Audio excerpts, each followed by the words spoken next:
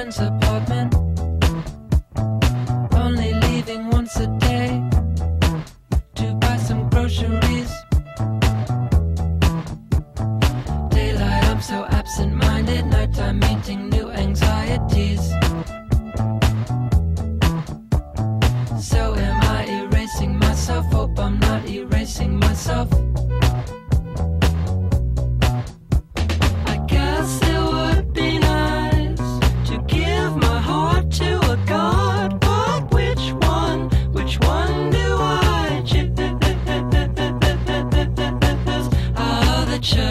fulfill